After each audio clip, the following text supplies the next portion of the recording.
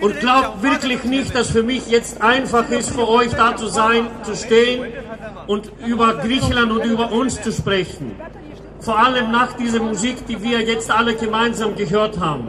Es ist eine Musik, die uns an sehr starke, harte, aber erfolgreiche Kämpfe unserer Bevölkerung erinnert. An die sehr große Kämpfe unserer großen Befreiungsarmee und, und unserer großen Widerstandes in Griechenland während des Zweiten Weltkrieges, aber auch die Kämpfe, die Generationen vor mir gemacht haben äh, während der Militärdiktatur, wo auch damals in sehr vielen Plätzen Europas auch viele tausende Leute sich versammelt haben und sich mit Griechenland solidarisiert haben. Wir haben uns wirklich nicht gedacht, dass wir wieder in so eine Situation kommen werden, wo eine derartige Solidarität für uns nochmal notwendig wäre. Zum Glück haben wir es. Zum Glück haben wir es und das ist nicht nur für uns gut, es ist für alle europäischen Völker gut.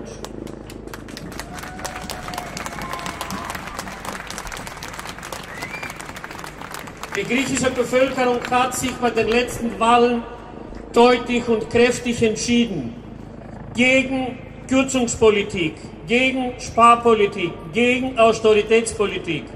Und diese Entscheidung ist nicht nur für uns Griechen sehr wichtig, diese Entscheidung ist für uns alle Europäer sehr wichtig. Wir haben natürlich in Griechenland die Krise am stärksten gespürt, wir spüren sie noch immer. Wir haben zwar nach den Wahlen unsere Würde wieder zurückgewonnen, unser Lachen wieder zurückgewonnen, Unsere materielle Lage hat sich aber noch nicht geändert. Und dieser harte Kampf, um auch der Bevölkerung ihre materielle Lage zu ändern, machen wir jetzt gerade.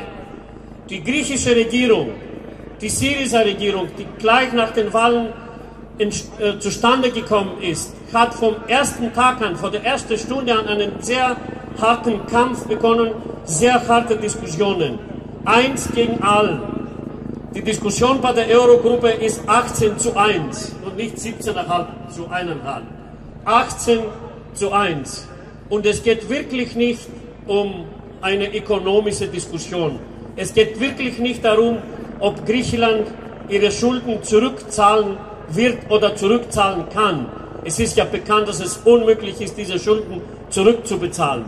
Es geht darum, ob diese neue Hoffnung, die in Griechenland entstanden ist, auch andere Völker, andere Staaten, andere Länder Europas auch infiziert. Das ist die Gefahr, die gefährliche Infektion und nicht das, was die Europäische Zentralbank sagt oder der Herr Schäuble sagt.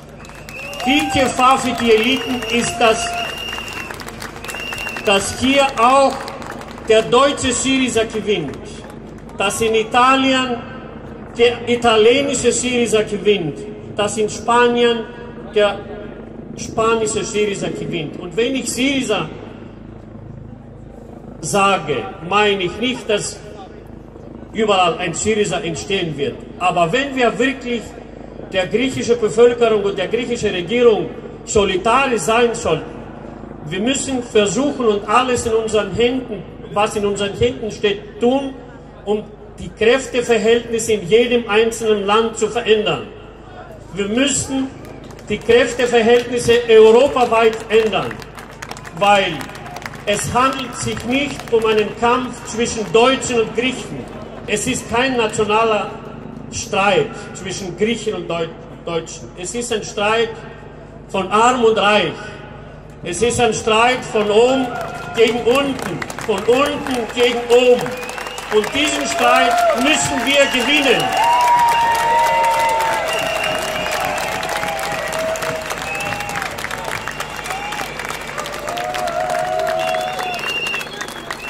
Griechische Bevölkerung hat ihren ersten Schritt wirklich getan. Aber um den Krieg zu gewinnen, der gerade begonnen hat, reicht das nicht. Es ist wirklich sehr notwendig, dass die griechische Bevölkerung hinter ihrer Regierung steht und bis jetzt haben wir das zum Glück. Weitere Teile der griechischen Bevölkerung, viel mehr Griechen als Syriza gewählt haben, stehen hinter der griechischen Regierung jetzt und unterstützen sie in dem, was sie sagt und in dem, was sie vorhat. Wir brauchen aber eine europaweite Mobilisierung gegen die Kürzungspolitik. Und diese Mobilisierung hat heute hier begonnen. Es ist wirklich ein sehr großer, sehr wichtiger Schritt, der heute hier in Frankfurt getan wurde, wo so viele Bewegungen aus verschiedenen Ländern Europas hier zusammen, sich zusammengetroffen haben und friedlich demonstrieren, um eben diese Hoffnung auch zu einer europäischen Hoffnung zu verwandeln. Und wir dürfen diese, diese Chance wirklich nicht versäumen. Wir dürfen diese Chance wirklich nicht verlieren. Die Eliten werden alles tun, dass die syrische Regierung fällt, dass sie kollaboriert oder weg vom Fenster kommt. Warum? Damit eben kein Beispiel da ist, damit kein Beispiel für Deutschen, damit kein Beispiel für alle Europäer sozusagen entsteht. Deswegen sagen wir, der Streit, den wir machen, ist nicht unser eigener Streit, es ist ein Streit für uns alle äh, Europäer. Und ich möchte, ich möchte mit einem Satz Schluss machen. Das Beispiel von Syriza zeigt, dass es in der Politik wirklich alles möglich ist. Wir waren bis vor kurzem eine ganz kleine Partei. Wir haben vor drei Jahren, vor vier Jahren gekämpft, um ins Parlament zu kommen.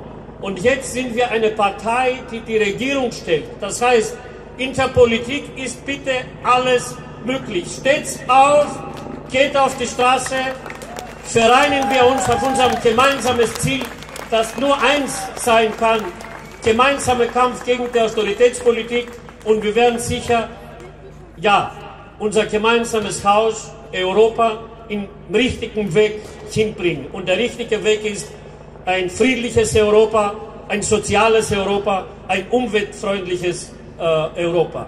Das ist unsere Vision, das ist Europa, das wir wollen. Und es ist das Europa, was wir sicher mit der Hilfe, die jetzt vom, mit dem guten Wind, der vom Süden kommt, auch äh, erreichen werden. Machen wir weiter so. No pasarán.